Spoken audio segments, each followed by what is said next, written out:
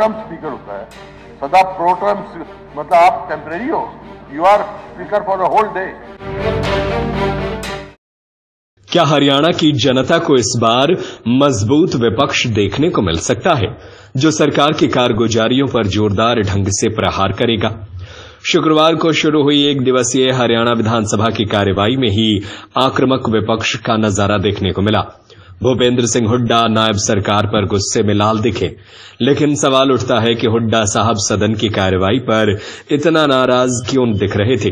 सत्य खबर इसका विश्लेषण तो करेगा, लेकिन इसके पहले आपको वो पूरी घटना बताते हैं जो विधायकों के शपथ लेने से पहले घटी। हरियाणा विधानसभा की कार्यवाही शुरू हुई थी। अभी विधानसभा में रघुवीर कादयान स्पीकर की सीट पर बैठे ही थे कि कांग्रेस के नेता भूपेंद्र सिंह हुड्डा इस बात को लेकर नाराज़ हो गए कि आखिर रघुवीर कादयान को प्रोटेम स्पीकर न कहकर एक्टिंग स्पीकर क्यों कहकर पुकारा गया? उन्होंने नायब सैनी सरकार पर आरोप लगाया कि उनकी सरकार ने स्पीकर रघुवीर काद्यान का अपमान किया है।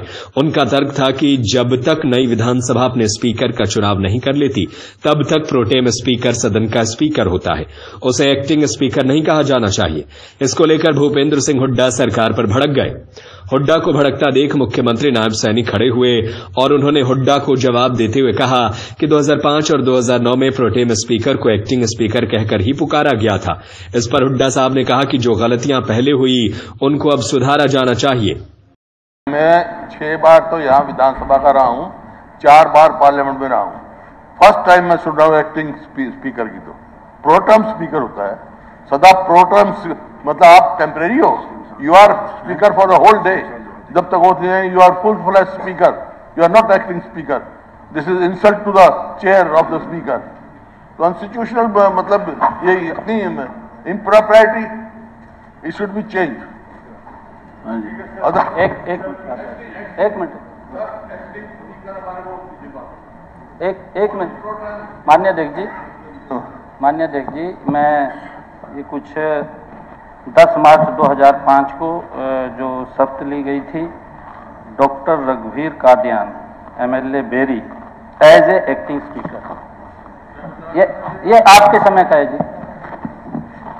और फिर 2009 26 अक्टूबर 2009 captain Ajay Singh, as a acting speaker. ये आपके समय का, दोनों का। ये हमारे समय का नहीं है। हमारे समय का तो उस टाइम एतराज़ करना चाहिए था जो अपोजिशन में थे। किसी ने नहीं पढ़ा होगा। आपके अनपढ़ समय थोड़ा ही है। उस टाइम नहीं पढ़ा होगा। मेरे को ये बताओ इसमें संविधान में- साहब संविधान में क्या सोचता है इसमें मेरी मेरी जो पर्सनल है ना जी मेरा पर्सनल व्यू इसमें बहरहाल, इस पर मुख्यमंत्री नायब सैनी ने सहमति जताई और कहा कि अब से स्पीकर को प्रोटेम स्पीकर कहकर ही पुकारा जाएगा। इस पूरे घटनाक्रम के दौरान भूपेंद्र सिंह हुड्डा पूरे आक्रामक अंदाज में दिखे। मुख्यमंत्री नायब सैनी जहाँ हुड्डा साहब के सवाल का जवाब बड़े ही विनम्रता से दे रहे थे तो वहीं भूपेंद्र हुड्डा का अंदाज काफ़ी आक्रामक था।